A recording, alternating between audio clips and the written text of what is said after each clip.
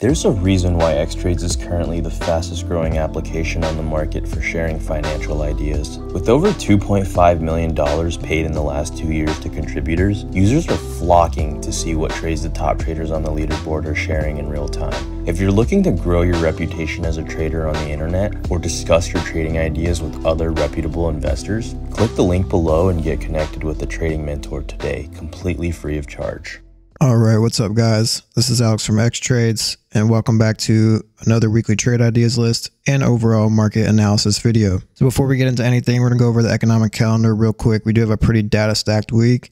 We actually just had some geopolitical issues come up. Palestine launched a surprise attack on Israel, so there is some stuff overseas going on right now. No idea how that's going to affect the futures, but we do have to keep it in mind. If the US gets involved, we could see some volatility in the markets just from that. So this week for economic data, we do have a couple Fed speakers on Monday. I wouldn't say this is going to affect the market too much. Tuesday, we do have wholesale inventories. This is always a hit or miss if it's going to affect the market. Wednesday, probably the second most important besides the CPI. This is the producer price index. So we have that core PPI, PPI year over year, core PPI year over year. And then we also have the Fed minutes from the last FOMC meeting. So this can definitely move the market. If anybody missed anything from the last meeting and they see anything different in black and white inside the minutes released by the Fed, we could see some market volatility. The algos would pick up on it and we'll see that pretty much reflecting into price instantly as soon as it drops at 2 p.m. Eastern. Then Thursday, usual initial jobless claims. Then we have the CPI, so consumer price index, core CPI, CPI year over year, and core CPI year over year. This is the big one. This is going to move the market the most. And I'm hoping we get a pretty good print because we are in desperate need of some good data lately. And markets have been very sensitive to data and the Fed is watching very closely. So as long as the Fed is data dependent, we are data dependent. And then Friday, nothing crazy. I would just say the consumer sentiment, probably the most important that day that comes out at 10, 30 minutes after the bell rings. So most importantly, CPI, second most important PPI and the minutes, and then maybe wholesale inventories. And that's for the data this week. So maybe a little bit wise to not swing anything into CPI unless you're absolutely sure you want to take that risk because it's totally random and it's a coin toss. And Friday's data with the non farm payrolls proved that we actually had a hot print come in. We added a lot of jobs and the market still rallied, even though that's usually bad news for inflation. If the labor market's not cooling down, that means inflation might not cool down as well, but we still rallied. So anything can happen with these data sets. It can literally do the opposite. So you have to be careful. And then for seasonality this week, Seasonax was actually kind enough to add us back. If you're a free user, you can use their instruments probably just for a short period and then they'll lock it again, trying to get you to buy a subscription. I like to use their free option just because I don't really use seasonality uh, as a strategy so much, but more so as a broad market view. So for this week, we are looking at October 9th to the 13th. So it's going to be the 9th to Friday the 13th this week. That's our trading week. You can see we actually average a plus 0.61% return. So it's positive. And this is when the markets start to historically bottom out a little bit. And We start seeing that rally up into November. And this is where the markets start to finish out the year. And lots of times we'll see some positivity, but we are in different market conditions now. It's always a hit or miss with seasonality. Look at it on the broad trend view rather than on a day to day basis. If you keep in mind that October is bullish, you might be a little bit more inclined to buy the dips in October and maybe just be more careful on shorts. But that doesn't mean, you know, day trade off seasonality. It doesn't mean just make a decision based off seasonality. Just keep it in the back of your head because markets do generally follow it. And we saw that in September. Looking pretty bullish overall for seasonality. Definitely keep that in mind. We do average a positive return in this period, and this is 25 years worth of data. And for specific dates here, we'll look at the almanac. So October 9th, Monday, it is Columbus Day, so the bond market is closed. You won't see any official bond pricing or anything with yields, but you will see instruments such as the TLT, maybe the bond futures as well, still pricing in something. They're going to try to price in what's going to happen on Tuesday when it reopens, when the actual bond market reopens. So you'll, you'll still see bond instruments trade, and that could have an effect on the market just because we've been so sensitive to yields and bonds. But overall, the actual bond market is closed on Monday. And then Dow, we're at 47.6. S&P at 42.9, Nasdaq at 52.4. So lower probabilities for the chance of the market rising on this day, more like neutral. I wouldn't say it's bearish, but it's not very bullish either. Nasdaq with the highest at 52.4, and this is for the chance of the market rising. and it's based off of probably anywhere from 50 to 100 years worth of data, and they pretty much just put probabilities into specific dates for the Dow, the S&P, and the Nasdaq. Tuesday, October the 10th, Dow lost 1,874 points, 18.2% on the week ending 10-10-2008. So that's during the financial crisis worst Dow week in the history of Wall Street. So that's just a little historical fact. Tuesday, the probabilities are not so bad. Dow at 57.1, S&P at 57.1, Nasdaq at 57.1 as well. So really not bad at all. Pretty neutral probabilities. Then Wednesday, another neutral day, nothing specific. Dow, S&P, and Nasdaq all in the 50s with Nasdaq at 57.1. Thursday, October 2011, second Dow month to gain 1,000 points. You can see probabilities are all over the place. Dow at 38.1, a little bit lower. S&P at 47.6, Nasdaq at 57.1. And once again, these are probabilities for the market rising. And Friday, historically bullish day, is bullish enough for them to give it a bull icon. Dow at 61.9, S&P at 61.9, Nasdaq at 66.7. So pretty good for Friday the 13th. Maybe we won't get bad luck after all. And now we'll go ahead and get into our individual tickers. This week I do have four on watch.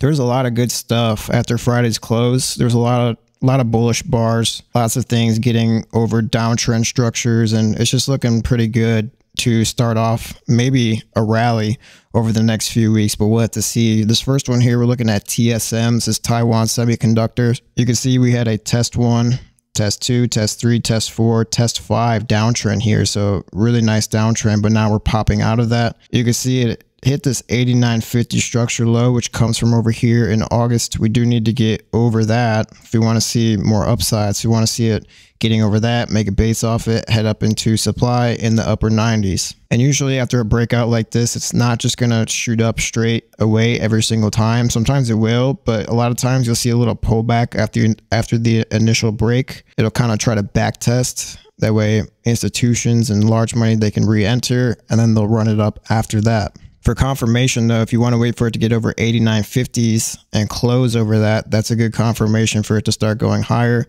looks like there's a little peak right here at 92.93. Watch this level. If it gets over 89.50, that'll probably be your price target on the short term.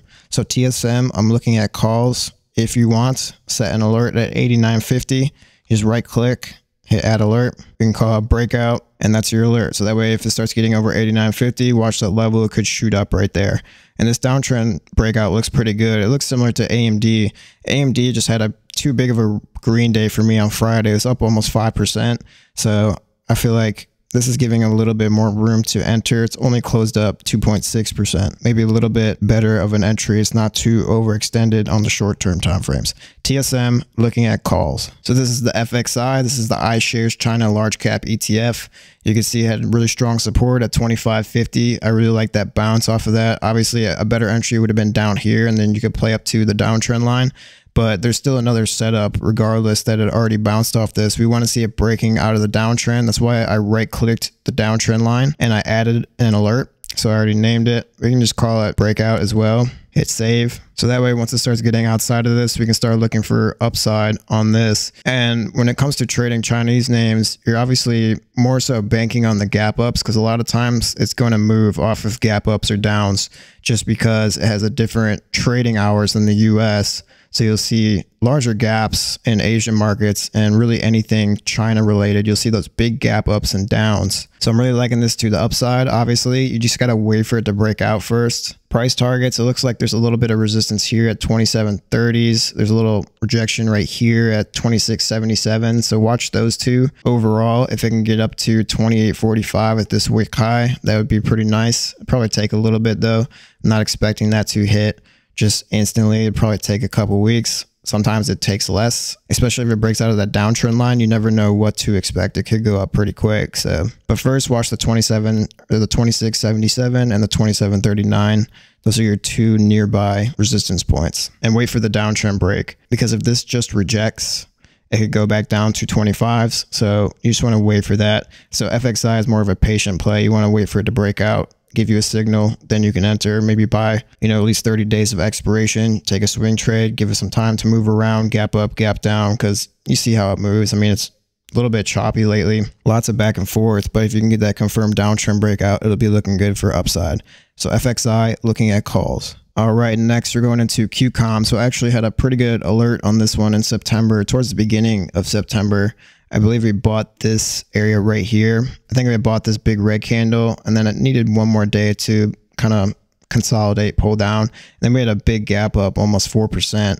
And that's the day I took profit. It actually ran higher, so I could have made way more on that. But I'm looking at this again just because it's been so tight and consolidating. It looks like it's finally trying to break out of this. So you got to test one, test two, test three, multiple tests over here. And now it's starting to poke out of that. So overall, I feel like it could get up to this little 115 area at supply. That's the max I could see. So you got about five points to the upside. It's a pretty good move if it can do that, but it looks pretty good. I mean, if it can stay outside of this downtrend line, and not go back within it. If it starts going back within it, you could probably invalidate the thesis on the short term.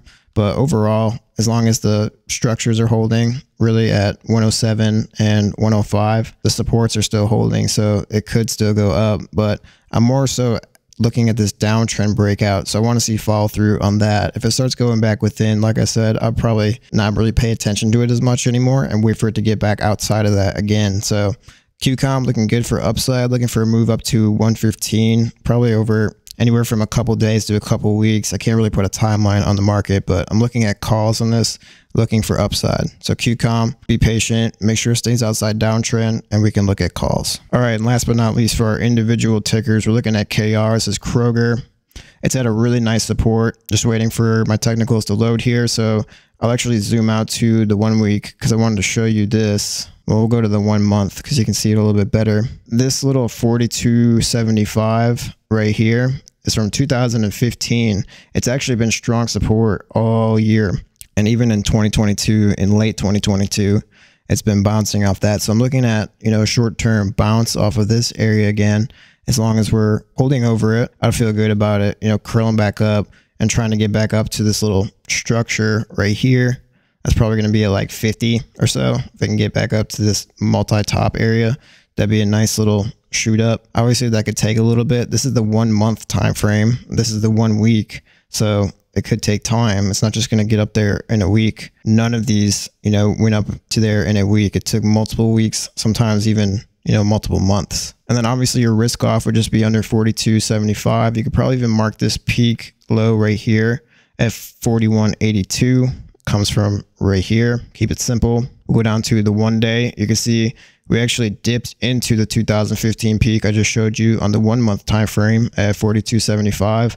It actually bounced off of that on Friday. So had a really nice run up off that. Kind of sold off into the close. One thing you do want to see on KR here, you want to see it getting over 4350s and I'll show you why here. So 4350s is actually a structure low point from right here. This is from June 23. It needs to get back over that. That's where it kind of rejected and then closed back under. So you want to see it getting over that and it can probably shoot up to this little area right here at, you know, 45 flat or so. So we want to see it getting over that 4350, closing over that, making a base off of that. And as long as it reclaims back over that, we could see a spring upward. Obviously, a lot of these retail names like Cost, WMT, Walmart, Target, they all got smashed on Friday for some reason. Not exactly sure what the news was. Maybe there's a big earnings on one of them and they didn't do so well, so it just affected the whole sector.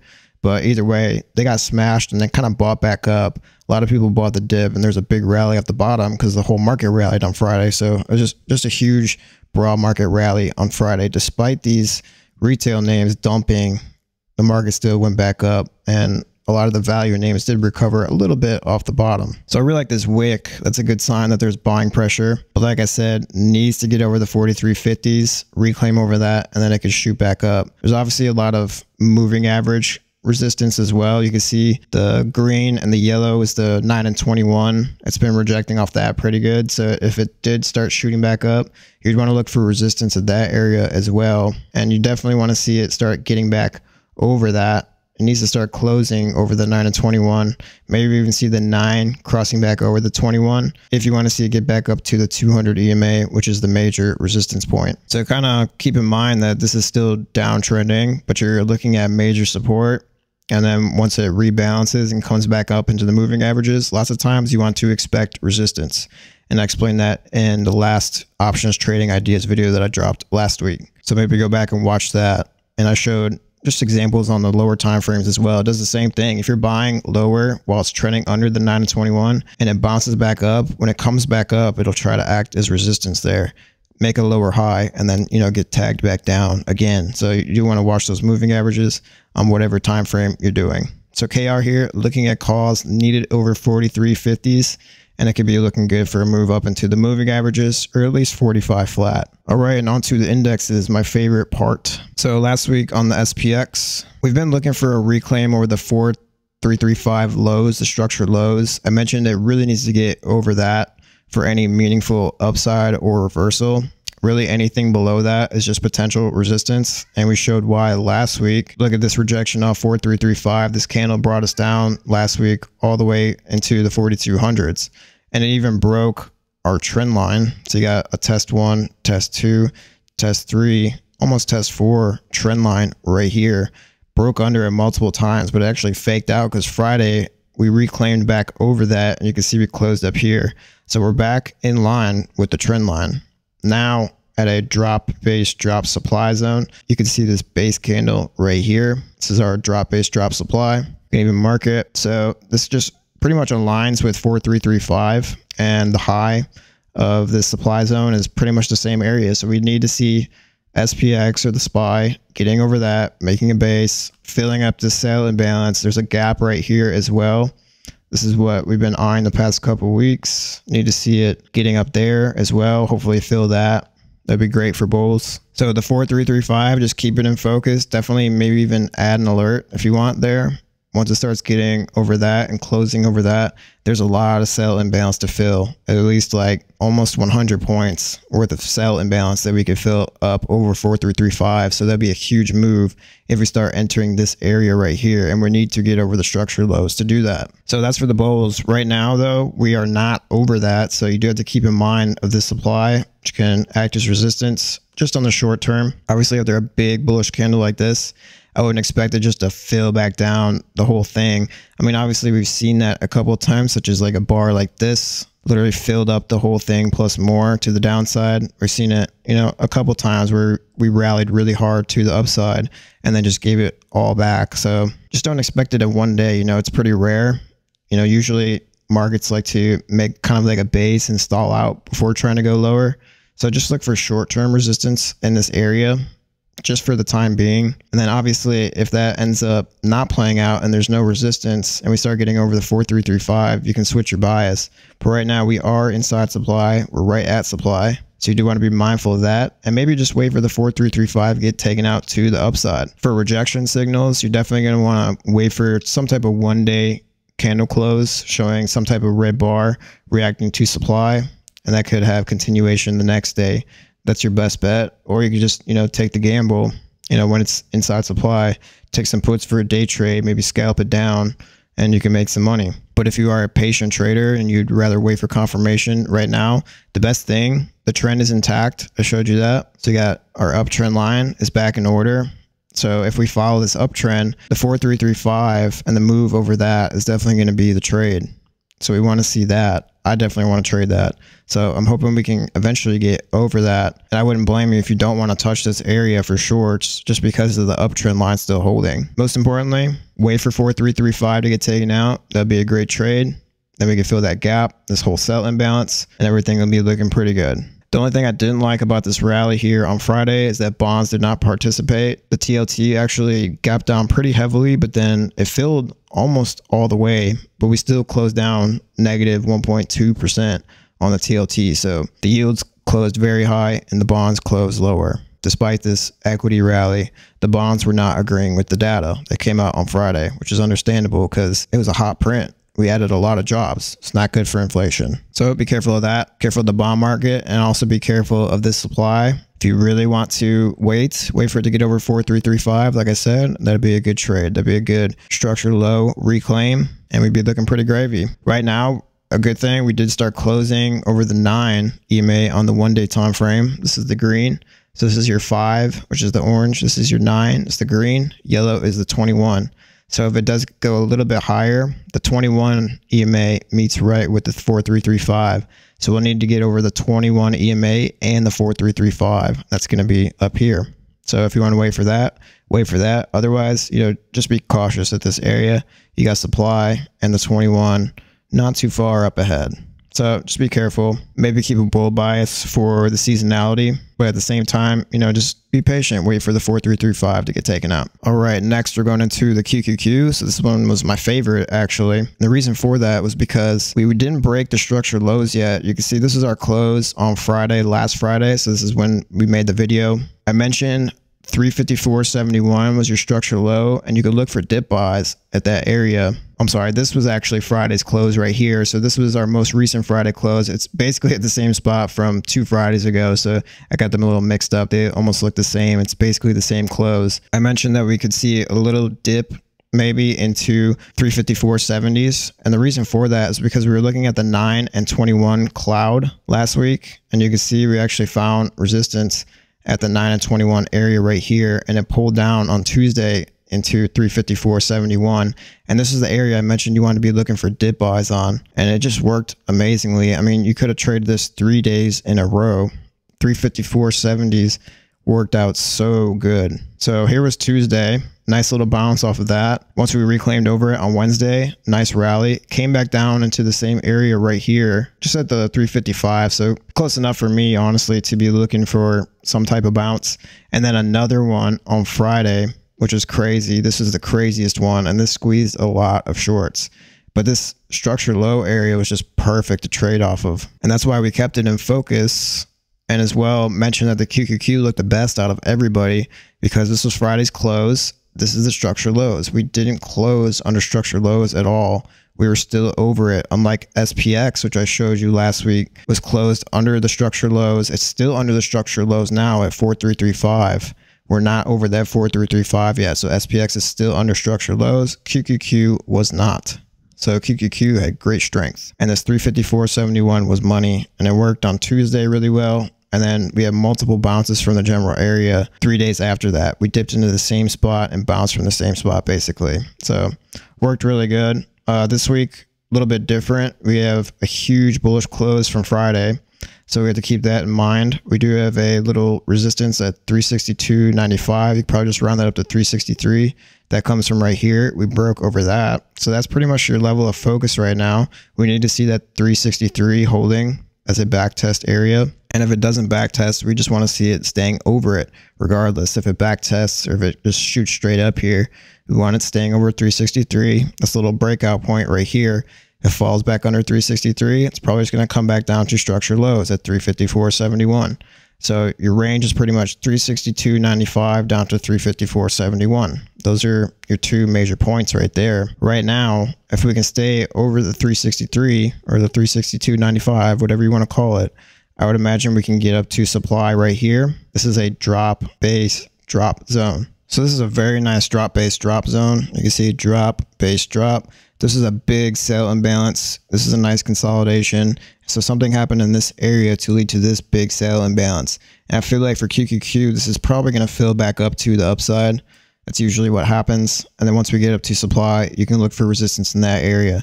So I would just look for resistance here. But QQQ, as long as we stay over that 363, which is our resistance point right here, Sorry, the magnets kind of screwed that up, but these little areas right here, that's our resistance. We need to stay over that. That's also a breakout point and a backtest area. So if it does pull into the 363 as well, look for dip buys on that area and it'll probably try to shoot back up. Another good thing about QQQ, it actually closed over the one day 21 EMA, unlike SPX, which is still below the 21 EMA.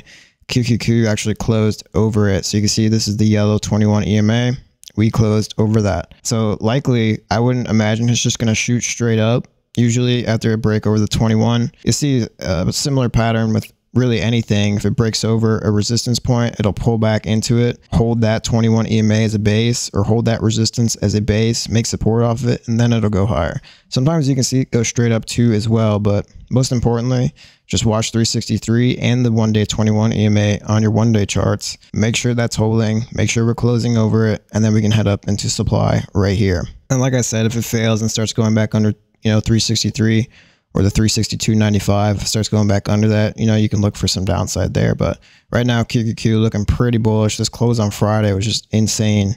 This whole trading day was insane. I think I got a lot of good day trades on SPY and QQQ on Friday. I think we went like four for five. All right, next we're going into IWM. This is our last equity ETF that we go over. So last week we were focused on this demand. I had it drawn right here. I actually got rid of it because we started closing under it.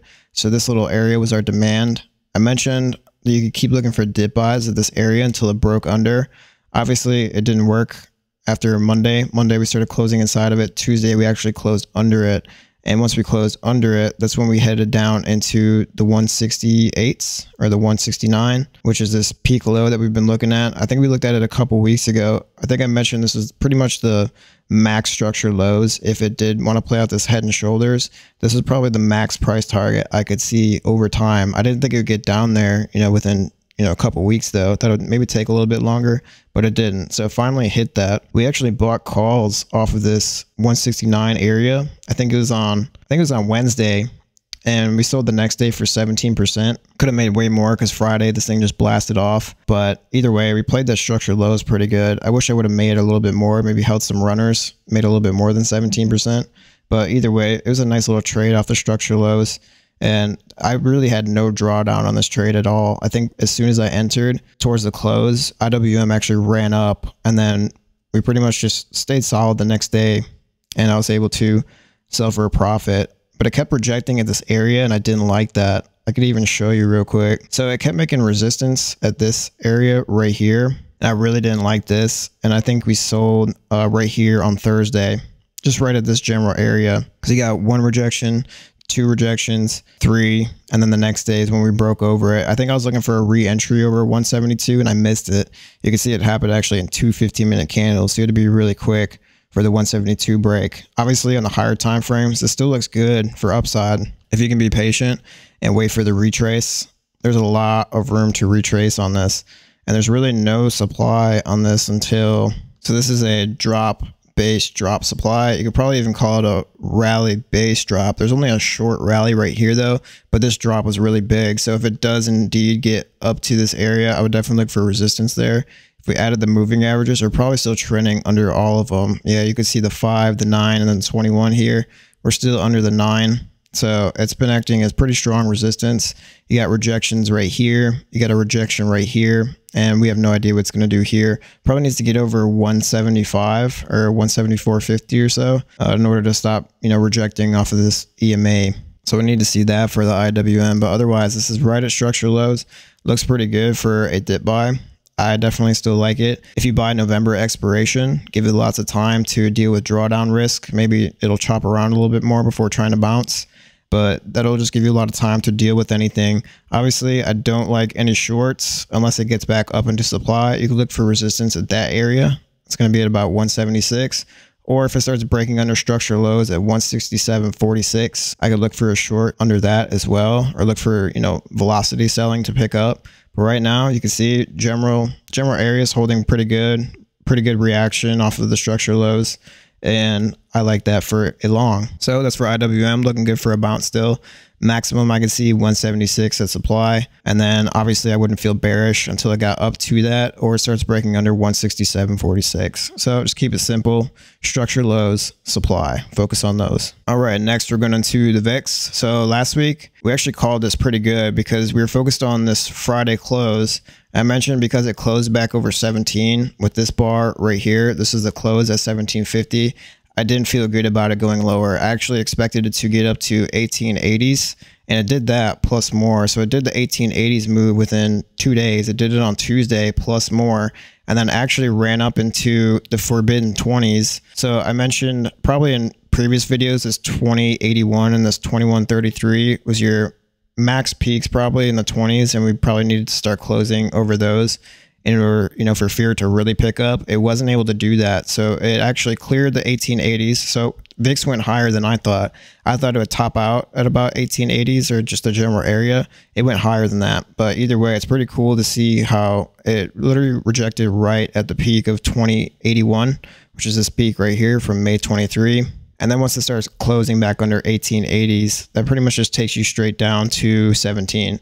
And you can see you got a close here on Wednesday under 1880s and a close here on Thursday under 1880s. Went briefly back over it on Friday, probably due to the data, but then we had VIX Crush Friday, got back under 1880s and went straight down to 17s, which is this peak right here. And this is also just a general support area. And the 17 area is the reason why I expected it to go higher just because of the close right here, specifically at 1750 on Friday. So we do need to see it getting under 17s this week for more upside.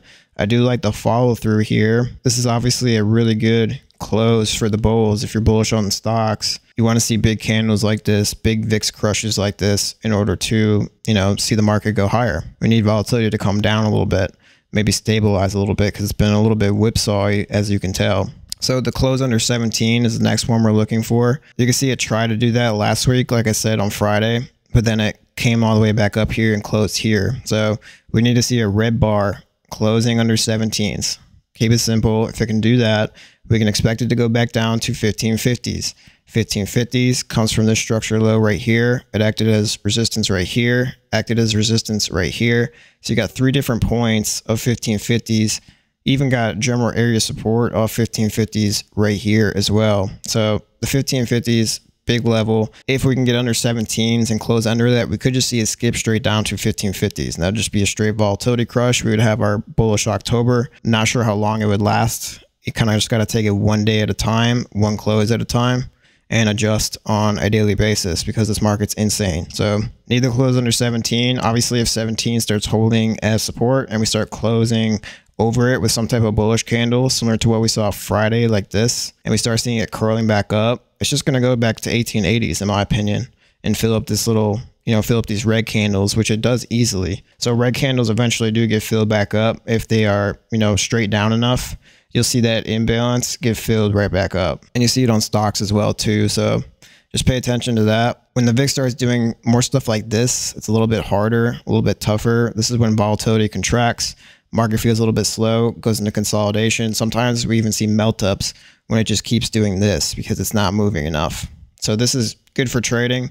This is more good for swing trading. And if you want to see volatility contract, you want to see a little bit more stability in the market. If you want to see a bullish market right now, we need that close under 17. Keep it simple. If it starts closing under 17, we can go down to 1550s. If it starts holding a support, like I said, at 17s, it's probably just going to go straight back up to 1880s. So want to see that close under that for the bullish bias. 1708, 17 flat, need to close under that. All right, and last but not least, going into the DXY or the US dollar. So last week we actually added this 107.19 level and this 107.99, and I think we added this 109.50s as well. We did react to one of them. I wasn't expecting it to get up to 107.20, or I wasn't expecting it to break over these at least, which luckily it didn't because if we started breaking over 107.20s or the 108, it would have been bad. Uh, we actually rejected that pretty hard on Tuesday. So the dollar was already selling and looking pretty good for a rally. Once the dollar starts cooling down, people start to chill out a little bit and you can see the markets go up. We actually didn't really get a huge rally or anything until Friday. And the DXY only closed down, you know, 0.22%. Very crazy day on Friday. Yields were still skyrocketed. Dollar was down just a little bit, but you would think after a big green day like that with equities, you would see the dollar down way more and you'd see yields down as well, but we didn't see that. So you could say that, you know, starting after this rejection, that's kind of giving a little hint that we would rally because the dollar's finally cooling down. But we really didn't see that huge impulsive move until Friday. So this week for the DXY, we're actually back down to 105.80s and we're actually directly at the trend line now. So we need to see this breaking. I've probably mentioned this a bunch of times. We need to close under this area, which is a backtest level right here as well. And that's also going to meet with the trend line. So we need to close under 105.80s. If we close under 105.80s, that's going to confirm the trend line break. That's going to confirm the structure break. And we are back within big resistance if we start closing under 105.88 over here that I'm circling with my mouse. So we start getting back under that area, it's probably just going to shoot back down to 104.70s, which is this peak right here. And it's also a back test area from right over here. So keep it simple. Need the trend line break, need the 105.88 break in order to go lower and that probably give the market an excuse to rally. But for right now, you can see Sunday, the DXY is trading. It's actually up a little bit, likely due to the overseas conflict with Israel and Palestine. I'll have to take a look at the futures. I haven't even looked at them. I think I started recording this before they opened, so I'll have to take a look. But right now, still holding structure, still holding trend line. So you kind of have to assume until it breaks, this could just act as support, could act as a trend, and it'll just keep marching higher, probably head back up into the 107s. So we need to see that break under for the bulls. If you want to see stocks go up, you want to see the market stabilize a little bit, you want to see everything a little bit more chill, we need the dollar under 105.88 and under the down or the uptrend line. So keep it simple. Otherwise, this could just, you know, keep going higher. So if you want to wait for that signal, wait for the VIX to get under 17 and close under it and also wait for the DXY to get under 105.80s. That's a perfect recipe for the market to rally even harder. Another thing, like I said, we need to see SPX over 4335. If it gets over 4335 and closes over it, maybe multiple days in a row, maybe we get one big close over it. That's a great sign. We'd probably see a broad market rally as well. So hopefully we can see more than just tech, you know, getting over its structure lows, which we saw hold very strongly. QQQ never broke under its structure lows intensely or anything like that. Just dipped under it just a little bit, and then we rallied right off of it. And that was at that 354.70s level that we've been focused on the past couple weeks and last week as well. So that's the video, guys. Hope you guys enjoyed. Make sure you like, comment, and subscribe to our Xtrades YouTube channel. I'm going to go ahead and get this chopped up, edited, and sent out. I love you guys, and I'm out.